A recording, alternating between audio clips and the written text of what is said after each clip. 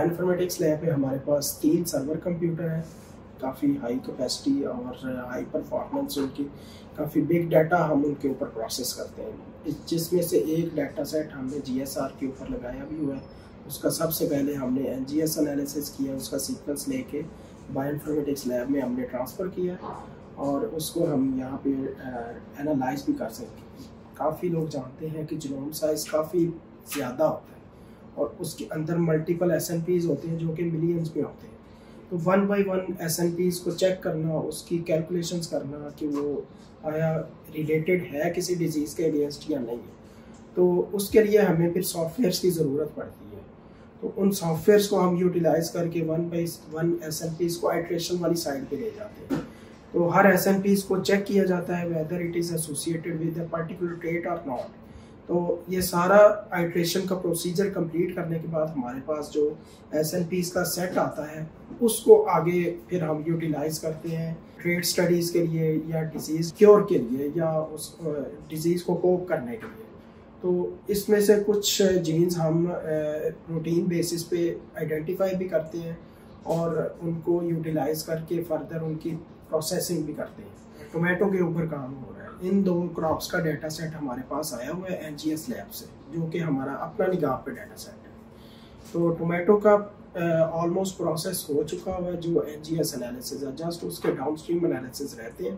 Rice का हमने recently अभी लगाया है सर्वर कंप्यूटर जितनी भी uh, अच्छी क्रॉप्स हैं वो कह लें जो डिज़ीज़ रेजिस्टेंट क्रॉप्स हैं उनके सारे मार्कर्स हम आइडेंटिफाई कर लेते हैं। उनको फिर हम सुजेस्ट करते हैं कि इन्हीं वैरायटीज़ को आप आगे क्लाइमेट रेजिलियंस के लिए रेयर किया जाए या उनको मल्टीप्लाई किया जाए, ना कि जो पुरानी ओल्ड वैरायटीज़ हैं, जो कि डिज़ीज़ के अगेंस्ट इतनी ज़्यादा परफॉर्म नहीं कर रही होती।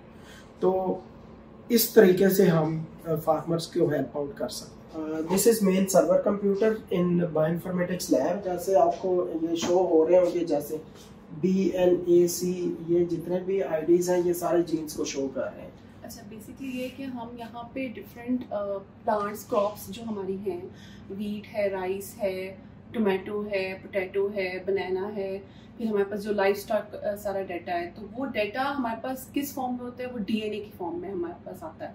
हम वेट लैब में हम उस डीएनए को आइसोलेट करते हैं, उसके बाद फिर उसमें हम उसको सीक्वेंस करते हैं। सीक्वेंस मीन्स कि उसमें जो इंडिविजुअल आपका जो डीएनए है, वो पूरा हमारी डिटेल आ जाती है उसमें कि उसमें कितने जीन्स हैं और वो जीन्स किस किस ट्रेट के साथ एसोसिएटेड हैं। मतलब कि अब जैसे एक क्रॉप है, जैसे वीट है। अब उसकी एक हाइट है पर्टिकुलर उसमें टिलर्स हैं और उसमें ये कि कितने उसके सीड्स जब बनते हैं तो वो कितने बनते हैं। तो ये सारी चीज़ें एसोसिएट करती हैं आपकी जीन्स के साथ और वो जीन्स का डाटा हमारे पास आता है। तो फिर हम देखते हैं कि वो जीन्स कौन सी ऐसी जीन्स हैं जो प्लांट की हाइट को इंक्रीज कर सकती हैं, कौन सी ऐसी जीन्स हैं जो प्लांट की उसमें सीड्स की क्वांटिटी को इंक्रीज कर सकती हैं। कौन सी जीन्स हैं जो प्लांट को हेल्प कर सकती हैं कि जैसे जैसे ड्राउट का सीज़न आता है तो आपके पास वाटर की कमी होती है तो उसमें प्लांट को सरवाइव करने के लिए कौन सी जीन्स हैं जो हेल्प कर सकती हैं जिससे प्लांट्स की रूट डीप हो सकती हैं। डीप होंगी तो उतना वो ज़मीन से ज़्यादा पानी खींच सकेगा पौधा। तो हम वो जीन्स बेसिकली निकालते हैं कि वो कौन सी हैं जो एसोसिएट कर हैं और हेल्प कर है प्लांट को। uh, हमारी रिसेंटली राइस की वैरायटीज आई हैं जीएम अली के नाम से। जो कि क्लाइमेट रेजिलियंट हैं और वो ग्रीन सुपर आइस हैं। ग्रीन सुपर आइस मीन्स के उसमें जितनी भी जीन्स जो इनकॉपरेट हुई हैं वो उसको सॉल्ट स्ट्रेस के अगेंस्ट भी उसमें uh, मतलब रोल प्ले करी है। वो वैरायटी ज़्यादा बेहतर है एज कंपेयर टू ऑलरेडी जो एग्जिस्टिंग वैरायटीज़ हैं राइस की। और ड्राउट के केस में भी और पेस्टिसाइड और इंसेक्टिसाइड्स इन, इनसे भी रेजिस्टेंस में जो है वो वैरायटी जो है वो ज़्यादा अच्छी है। जी एम अली फाइव है जी एम अली इस तरह से हमारी वो सीरीज़ है जो रिसेंट राइस वैरायटीज़ हमारी इंट्रोड्यूस हुई है रिसेंटली जीनोटाइपिंग जैसा कि मेरे कोलीग्स ने बताया कि उसके साथ साथ जैसे एन वगैरह है, उसके साथ साथ हाई थ्रूपुट फिनोटाइपिंग भी बहुत ज़रूरी है।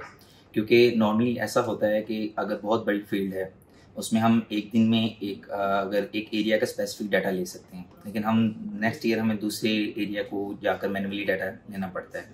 लेकिन हाई थ्रूपुट फिनोटाइपिंग जो है, इसमें हम ड्रोन्स और सेंसर के थ्रू एक ही, यानी कि टाइम में, एक ही टाइम में हम सारे जो फ़ील्ड का एक साथ डाटा ले सकते हैं। उसके लिए हम अपने जो है ना मशीन लर्निंग मॉडल्स तैयार कर रहे हैं, जो एफिशिएंटली डाटा हमें ऑटोमेटिकली फेच करके दे सकें। उसके लिए हमने अभी फ़िलहाल जो है हाइट का और एनडीवीआई का प्रिडिक्शन का हमने मॉडल तैयार किए हैं। और अभी नेक्स्ट ईयर हमारा फर्दर अब फोकस है कि हम रूट लेंथ और जो है न्यूट्रन एनालिसिस और उसके साथ साथ जो है प्लांट स्ट्रेस का जो डाटा है, उसके लिए भी हम इसको अपने सेंसर्स को ऑप्टिमाइज कर सकें और इसका फ़ायदा ये है कि इससे जो है, एक तो ये कॉस्ट एफिशिएंट होगा कि हमें जो डिफरेंट कॉस्ट और डिफरेंट इक्विपमेंट्स की चाहिए होती हैं, ये एक ही दफ़ा में हमारा सारा डाटा आ जाएगा और दूसरा टाइम एफिशिएंट भी होगा।